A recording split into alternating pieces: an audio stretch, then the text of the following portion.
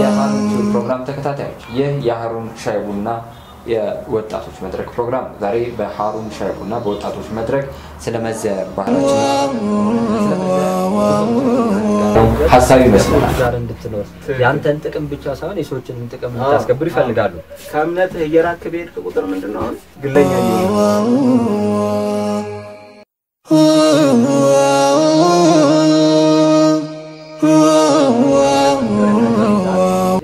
ከአንተ ይበልጥ ከሰዎች ጋር እንድትኖር የአንተን ጥቅም ብቻ ሳይሆን የሰዎችንም ጥቅም እንድታስከብር ሙስሊሙ ማህበረሰብ ምን አይነት እንትን ነው ያለው? ምን አይነት ባህል ውስጥ ነው ያለው? በተለይ አሁን ያለው ሁኔታ ላይ መዘያየርን እንዴት አድርጎ ነው እየያዘ ያለው? በፊትና አሁን መዘያየር ያለው ልዩነት ማለት ባህሉ አድጓል ወይስ ጨምሯል ወይስ ቀንሷል የሚለውን ነገር እስኪ ለማየት እንሞክር።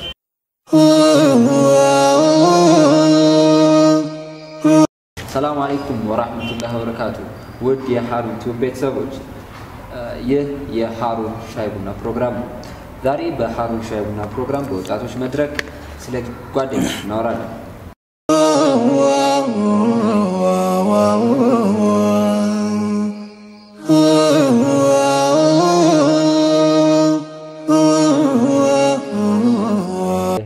የሀሩን ቲዩብ የሻይ ቡና ፕሮግራም ነው። ሀሩን ቲዩብ የሻይ ቡና ፕሮግራም ማህበራዊ በሆኑ ጉዳዮች ላይ ሻይ ቡና እያለ እንደ አንድ ሀብት ነው የሚቆጥሩት። ለምን የሆነ መጥፎ ሰዓት ላይ ይገኛል፣ ጥሩ ሰዓት ላይ ነገሮችን የበለጠ ጥሩ ያደርጋል እና ጓደኝነት ላይ በጣም ሰዎች value ይሰጣሉ። አሁንም እንደዛ ብያ ትክክል አብዱላ ማለትም በዚህ ዘመንም አለ እውነተኛ የልብ ጓደኝነት ግን አንድ ማይካድ እውነታ ደግሞ ምን እንዳለ ታውቃለህ? ከአንተ ይበልጥ ከሰዎች ጋር እንድትኖር የአንተን ጥቅም ብቻ ሳይሆን የሰዎችንም ጥቅም እንድታስከብር ይፈልጋሉ። ከእምነትህ እየራክ በሄድክ ሰላም አለይኩም ወራህመቱላሂ ወበረካቱ። ውድ የሀሩን ቲዩብ ቤተሰቦች ይህ የሀሩን ሻይ ቡና ፕሮግራም ነው። ዛሬ በሀሩን ሻይ ቡና ፕሮግራም በወጣቶች መድረክ ስለ ጓደኞች እናወራለን። እኔ አብዲላ ነስረዲና ባልደረባ ቶፊቅ አዲሱ በዚህ ርዕስ ዙሪያ ላይ አንዳንድ ነገሮችን ለእናንተ እያደረስን እንቆያለን። እስከ ፕሮግራማችን ፍጻሜ አብሮነታችን እንዳይለየን ጥያቄያችን ነው። ሰላም አለይኩም ነህ? አለይኩም ሰላም ወረህመቱላሂ ወበረካቱ። ሰላም ነው። ሰሞኑን ያው እንግዲህ ብዙ ጊዜ ከአንዳንድ ከጎረቤቶች ከትላልቅ ሰዎች ጋር ውሎ እያደረግኩ ነበር እና ውሎ በብዛት እነሱ ጋር ነበር እና በብዛት ያው አንዳንድ ነገሮችን ስንጫወት ቆየና ትንሽ ይሄ ድሮን ባህል በተመለከተ የሆነ ነገሩን ትንሽ original የማድረግ የበፊቱን ነገር original ትክክለኛ እንደሆነ አይነት ነገር እንደማድረግ እና የዘንድሮ ያለንበትን ሁኔታን ደግሞ በቃ በአብዛኛው በአብዛኛው የሆነ forged እንደሆነ ብዙም እውነተኝነት ያልበዛበት አይነት ነገር እንደሆነ ያነሳሉ። በተለይ በተለይ ጓደኝነት ላይ ጓደኝነት ላይ በፊት በጣም እስከ ሕይወት መስዋዕትነት ድረስ የሚከፈልላቸው ጓደኝነቶች ነበሩ። አሁን ግን እንዲህ አይነት ጓደኝነት አናስተውልም እና አሁን ያሉ ጓደኝነቶችን ዋጋ አይሰጧቸውም በብዛት በተለይ በእድሜ ገፋ ያሉ ሰዎች ማለት ነው። እና በነገራችን ላይ አብዲ ጓደኝነት አሁን እነሱ የሆነ ብዙን ጊዜ በጣም ትኩረት ሰጥተው የሚያወሩት ምን አይነት ጓደኝነት መሰለ? የሆነ ዝም ብሎ የሆነ ከመቶ ሰው ጋር ከሁለት መቶ ከብዙ ሰዎች ጋር መሰረተው አይነት ጓደኝነት በተለያየ አጋጣሚ ተገናኝተ የምትለያይበት አይነት ጓደኝነትን አይደለም እነሱ እንደሚመስለኝ ከሆነ ትኩረት ሰጥተው ብዙውን ጊዜ የሚያወሩት የሆነ የልብ ጓደኞቻቸውን ለማንሳት ፈልገው ይመስለኛል። እንደውም አንድ የሚባል አባባል አለ። ምንድነው አንድ ሰው ብዙ ጓደኞች ቢኖሩት ወይም ሺህ ጓደኞች ቢኖሩት የሚያስደንቅ ነገር አይደለም። የሚያስደንቀው ግን በሺህ ቦታዎች በሺህ ሁኔታዎች ላይ ከጎንህ ሊቆም የሚችል አንድ ጓደኛ ማፍራት ነው የሚባል አይነት አባባል አለ። እኔ እንደዛ አይነት ጓደኝነትን ለማለት ፈልገው ይመስለኛል። ግን አሁን ያለውን አሁን ያለውን ግን ጓደኝነት ሙሉ ለሙሉ እንደዛ ብለን መደምደም እንችላለን ማለት ተገቢ ነው ብለህ ታምናለህ? እንዲህ ብሎ መደምደሙ አሉ። አሁን ለምሳሌ በጣም ብዙ አሁን በተለይ በተለይ በውትድርናው ታሪክ ላይ ስናይ ይሄ mission ብዙ ጊዜ ሚሽነሪዎች የሚሰሯቸው ታሪኮች በጓደኝነት ላይ ስታይ በጣም even ከእስልምና ውጭ ያሉትን ብታይ ማለት ነው እና በጣም ብዙ የሚነገርላቸው ጓደኝነት ገድሎች አሉ እና ይሄ ባለበት ሁኔታ ላይ አሁን ጓደኝነት ሙሉ ለሙሉ original የሆነ እውነተኛ የሆነ ጓደኝነት የለም ብሎ ለመደምደም በእርግጥ ይከብዳል። ለምሳሌ ያህል ብዙ ጊዜ አይተህ ከሆነ አባባሎች ለጓደኝነት የሚነገሩ በጣም inspire የሚያደርጉ ሰዎችን የሚያነሳሱ ናቸው። ለምሳሌ ሄለን ኪለር የምትባል መስማትና ማየት የተሳናት በጣም ታዋቂ የሆነች ማለት ስኬታማ የሆነች አውሮፓዊት አንድ የተናገረች አባባል አለ። ምንድን ነው? ጨለማ ውስጥ ከጓደኛ ጋር መሄድ ብርሃን ውስጥ ብቻህን ከመሄድ የተሻለ ነው በማለት ለጓደኝነት የምትሰጠውን ቫሉ ተናግራለች። እና ስታየው ብዙ ጊዜ ጓደኝነት የሆነ value አለው። በህይወታችን ውስጥ ብዙ ጊዜ እኛ value አንሰጠውም። አንተ ያለ ሀብት ምንድን ነው የምትባልና ጥሩ ጓደኛ ቢኖርህ ጥሩ ጓደኛን እንደ ሀብት አድርገህ አትቆጥረውም። ግን ነጮችን ብታይ ጥሩ ጓደኛን እንደ አንድ ሀብት ነው የሚቆጥሩት። ለምን የሆነ መጥፎ ሰዓት ላይ ይገኛል፣ ጥሩ ሰዓት ላይ ነገሮችን የበለጠ ጥሩ ያደርጋል እና ጓደኝነት ላይ በጣም ሰዎች value ይሰጣሉ። አሁንም እንደዛ ብያ ትክክል አብዱላ ማለትም በዚህ ዘመንም አለ እውነተኛ የልብ ጓደኝነት ግን አንድ ማይካድ እውነታ ደግሞ ምን እንዳለ ታውቃለህ? በፊት ከነበረው አንጻር በጣም ቀንሷል።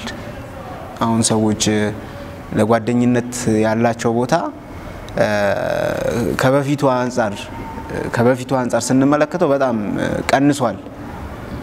እንደሚመስለኝ ከሆነ እዛች ጋር የሚያወሩት አባቶቻችንም የሆነ እውነታነትን ይዘው እውነትን ይዘው ነው የሚናገሩት። በፊት የነበረው አይነት መዋደድ በፊት የነበረው አይነት አንድ ጓደኛ ለሌላው ጓደኛው ይከፍል የነበረው አይነት መስዋዕትነት አሁን ላይ በእርግጥ ማግኘት በጣም ይከብዳል። ግን አሁን እስኪ ጓደኛ ብዙ ጓደኛ ሊኖር ይችላል። አንድን ጓደኛ የልብ ጓደኛ ወይም ደግሞ ትክክለኛ ጓደኛን የሚያስብለው ምንድን ነው? ከሌሎቹ ጓደኞች እስኪ ተነጥሎ አንተ ለአንተ የልብ ጓደኛ ማለት ምን አይነት ሰው ነው? አሁን ለምሳሌ ብዙ ጊዜ ማየት እኮ እንችላለን። ብዙ ቦታ ላይ እኛ ጓደኞችን ይዘናል። አሁን ለምሳሌ ትምህርት ቤት ላይ ውሰድን። አሁን ተማሪ ሆኜ ስማር ብዙ ጓደኞች ነበሩኝ። ግን እነዛ ጓደኞች ያን ያህል በእኔ ህይወት ውስጥ ያላቸው ሌቭል ይለያያል፣ ያላቸው ቦታ ይለያያል። ወደ እውነተኛ ጓደኛ ወደሚለው የምንመጣ ከሆነ ግን ለእኔ እውነተኛ ጓደኛ የሆነ ቦታ ላይ እኔን በጣም በተቸገርኩበት ሰዓት ላይ ችግሬን የሚካፈለኝ ደስታዬን የሚካፈለኝ በፈለኩበት ቦታ ላይ የሚገኝልኝ ያ ለእኔ የልብ ጓደኛዬ ነው። ግን ሁሌ ያ ይሆናል ማለት ላይሆን ይችላል። ዞሮ ዞሮ ግን ዋናው ነገር ለእኔ የልብ ጓደኛ ማለት እንዳልኩ ያው አንተ በምትፈልገው ሰዓትና በምትፈልገው ቦታ ላይ የሚገኝልህ ሰው ማለት ነው። ከአንተ ቀጥሎ ያለ ሌላ ሰው ማለት ነው። ራስህ ጓደኛ። የልብ ጓደኛ ማለት ለቤተሰብ ለምሳሌ አንተ አንድ ልጅ ብትሆን አንተ የልብ ጓደኛ ካለ ቤተሰቦችህ ሁለተኛ ልጅ እንዳላቸው አይነት ነገር ማለት ነው። የዛን ያህል ደረጃ ያለው ሰው ነው ለእኔ ጓደኝነት ማለት ነው። ትክክል። አሁን ጓደኝነትን ራሱ አሁን ስመለከተው ማለት ነው ብዙም ጊዜ አንዳንዴ ቆሜ ብዬ ሳስበው ጓደኛ ብዙ ቦታዎች ላይ የሆነ ከቤተሰብ ይበልጥ ወይም ደግሞ ከስጋ ወንድምህ በላይ ቫልዩ ይኖረዋል አንተ በአንተ ህይወት ውስጥ አሁን ለምሳሌ ብዙ በጣም ሰዎች እስከሆንን ድረስ ሰዎች እንደ መሆናችን መጠን ብዙ መልሰን እኛ ራሳችንን ራሱ ሊያሳፍሩን የሚችሉ አይነት ተግባራትን እንፈጽማለን፣ ኃጢአቶችን እንሰራለን። ከዛ በኋላ ግን አንድ ሰው ኃጢአቱን ከተናዘዘ ለሰው ከተናዘዘ ግን ቀድሞ የሚናገረው ለጓደኛው ነው፣ የልብ ጓደኛ ለሚለው ማለት ነው እና ጓደኛ ከስጋ ወንድምህ ይበልጥ ይቀልሃል። አንተ ውስጥ ያለውን የታመቀውን ጭንቀት ወይም ዋቴቨር ውስጥ ያለውን ነገር መተንፈስ ከፈለግ የሚቀል ጓደኛ ነው መጀመሪያ። እኔ ከዛ አንጻር አየዋለሁ አንድ ጓደኝነቱን። ሁለተኛ ደግሞ ጓደኛ ሲባል የትኛውን ቦታ ላይ ተጠይፎ ፊቱን ማያዞርብህ አይነት አካል ነው ጓደኛ ማለት። እውነተኛ ጓደኛ ለኔ ማለትም አሁን ለምሳሌ የስጋ ዘመዶች በተለይ አሁን ባለንበት ሲቹዌሽን የሆነ ችግር ላይ ሆነ ደህይተ ቆሸ ታመህ ምናምን ሲያዩ እስከ መክዳት ደረጃ ይደርሳሉ። የሆነ አንተ የእነሱ ዘመድ በመሆናቸው በመሆንህ ብቻ ያፍሩብሃል። አንዳንዴ ደግሞ ነገሩ በጣም እንትን አሳሳቢ ደረጃ ላይ ሲደርስ ደግሞ የገዛ ቤተሰቦች የራሱ ፊታቸውን ሊያዞሩብ ይችላሉ። እና በዛ ሁሉ ሲቹዌሽን ውስጥ ጓደኛ ማለት መጥቶ ሚያነሳህ ማለት ነው የማይጠየፍ ጓደኛዬ ነው ብሎ በዛ situation ራሱ ኮርቶ የሚናገርልህ ሰው ነው ጓደኛ ማለት ለኔ።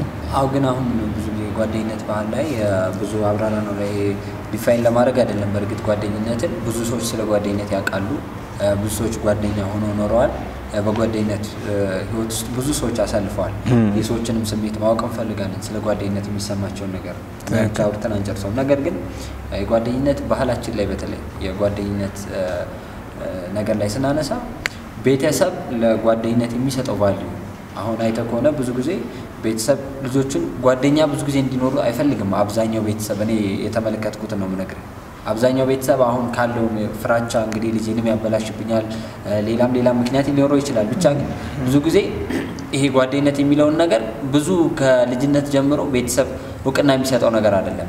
ነገር ግን ብዙ ጓደኝነቶች ብዙ ነገሮችን እንደፈጠሩ እናውቃለን። ዓለም ላይ ትላልቅ ነገሮች በጓደኝነት ምክንያት የተፈጠሩ ነገሮች አሉ። በጣም ትላልቅ ቢዝነሶች even እስልምናን እንኳን ብናይ እስልምና ራሱ የጓደኝነት ሌላ ተጨማሪ ውጤት ነው።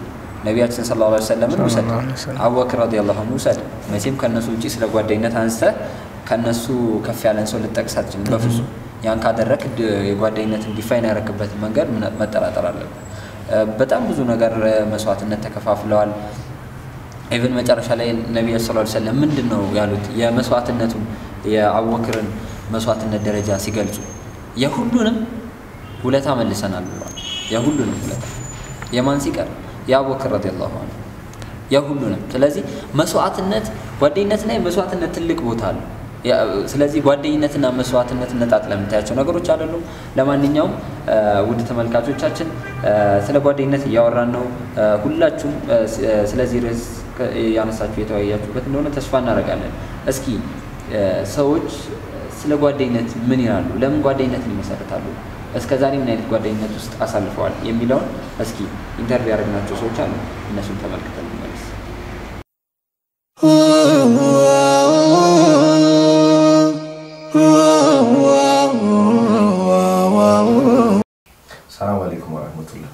ሰላም ወበረካቱህ። እንኳን ደህና መጣ።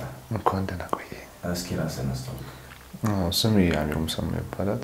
ያው መማረው ማወሊያ ናይንዝ እ፣ ጓደኛ አለ? ያ አለኝ ጓደኛ ምን ያህል ጊዜ ላይ ሆናችኋል?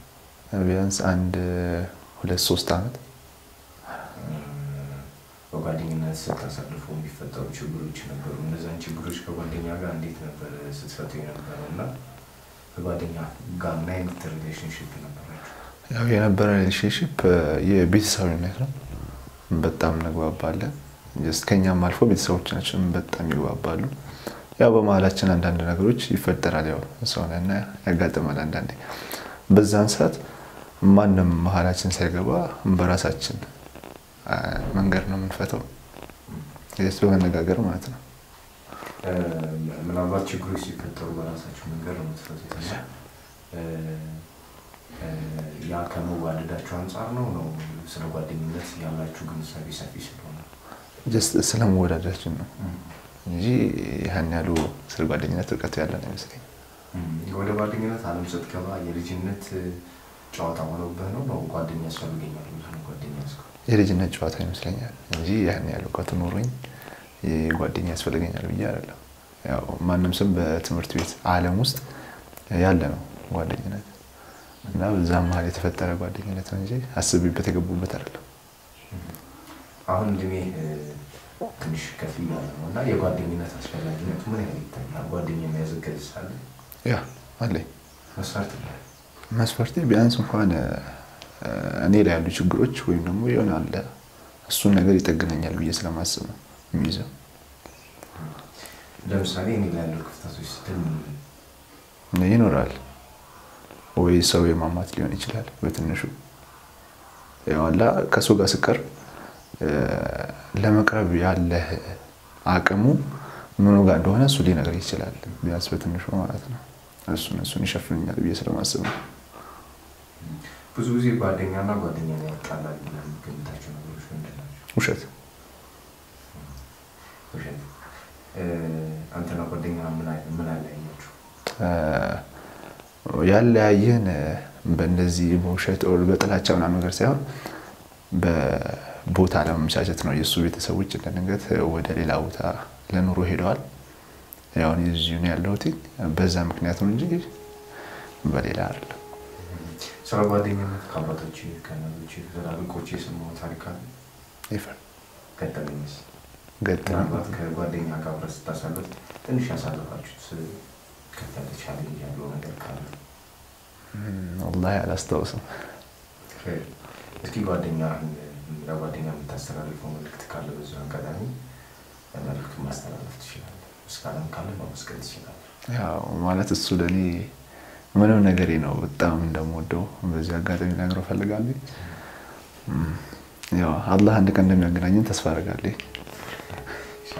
ሰላም ወረህመቱላሂ ወበረካቱህ።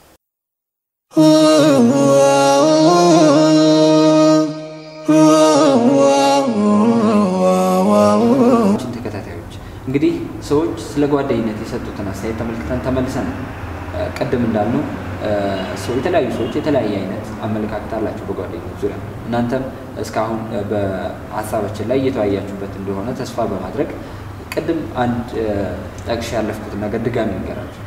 ሄለን ኪለር ብዙዎቻችን እንደምናውቃት እጅግ በጣም ስኬታማ ከሚባሉ ከምዕራባውያን ሀገር ውስጥ ከሚኖሩ ስኬታማ ከሆኑ ሰዎች ውስጥ ትመደባለች። ማየት የተሳናት መስማት የተሳናት እጅግ በጣም ብዙ የህይወት ውጣ ውረድ ውስጥ ያሳለፈች ሴት ናት እና አንድ ከማይረሳ ንግግሮች ወይም በጣም እንደ ምርጥ ንግግር ከሚነገሩላት አባባሎቿ ውስጥ አንዱ በጨለማ ውስጥ ከጓደኛ ጋር መሄድ ብርሃን ውስጥ ብቻህን ከመሄድ ይሻላል ብላ ታምናለች ወይም ትናገራለች። እና ይህን አባባል ብዙ ሰዎች ይደግፉላታል። ይህ ብቻ አይደለም፣ ሌሎች ብዙ አባባሎች አሉ። ለምሳሌ ካሊል ጅብራ በጣም ታዋቂ ጸሐፊ ነው። ካሊል ጅብራ እሱ ከጻፋቸው መጽሐፎች ውስጥም ብዙ ቦታዎች ላይ ስለ ጓደኝነት ያወራል። ግን ከዛ በዘለለ ግን ስለ ጓደኝነት አንድ የጠቀሰው ነገር አለ፣ በጣም ተደጋግሞ የሚነገርለት ያ ምንድን ነው? ጓደኝነት እድል አይደለም ይላል። ጓደኝነት እድል አይደለም። ጓደኝነት በጣም ጣፋጭ የሆነ ስቃይን የምንቀበልበት ኃላፊነት ነው ነው ጣፋጭ የሆነ ስቃይን የምንቀበልበት ኃላፊነት እንግዲህ ምን አይነት አገላለጽ እንደሆነ አስቡት። በጣም የራቀ በጣም ብዙ ብዙ ልንልለት የምንችለው ነገር ነው ጓደኝነት። እኛ እዚህ ላይ ማብቃት ብንችል ደስ ይለን ነበረ። ብዙ ነገሮችን ማውራት ብንችል ደስ ይለን ነበረ። ነገር ግን አሁን ያለን ሰዓት ውስን ስለሆነ ሌሎች ሰዎች ደግሞ በጓደኝነት ዙሪያ አንስተው የሰጡን ሀሳብ ይዘን ድጋሚ በሚቀጥለው ሳምንት እንመለሳለን። ለዛሬ ግን ስለ ጓደኝነት ያነሳነው ሀሳብ እዚህ ላይ እንቋጫለን። والسلام عليكم ورحمة الله وبركاته።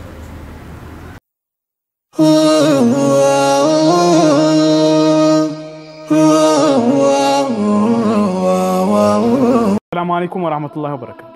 የተወደዳችሁና የተከበራችሁ የሀሩን ቲዩብ ታዳሚያን፣ ሀሩን ቲዩብ የተለያዩ አዝናኝና አስተማሪ ፕሮግራሞችን ለእናንተ እያቀረበ ነው። ሀሩን ቲዩብ ብላችሁ ዩቲዩብ ላይ እንደዚህ search ታደርጋላችሁ። search ካደረጋችሁ በኋላ የምናስታውሳችሁ ነገር ቢኖር subscribe ማድረጋችሁን መርሳት የለባችሁም። subscribe ማድረጉን ለማሳየት ያክል እንደዚህ ቀይ ከሆነ subscribe የሚለው አላደረጋችሁም ማለት ነው። እንደዚህ ስትነኩት ግራጫ ይሆናል። ይቺ የደወል ምልክቷ ሁለት ጆሮ እስክትመጣ ድረስ ትነካላችሁ። ከዚያም ቪዲዮዎች በሚጫኑበት ጊዜ በቀጥታ ይደርሳችኋል። የተለያዩ አዝናኝና አስተማሪ ፕሮግራሞችን ሀሩን በልዩ ልዩ መልኩ እያዘጋጀ ወደ እናንተ የሚያቀርብላችሁ ይሆናል። በመሆኑም አደራ የሀሩን ቲዩብን ዩቲዩብ ቻናላችንን subscribe ማድረግ፣ የሚጫኑ አዳዲስ ቪዲዮዎች ወዲያውኑ ማድረጋችሁን አትርሱ።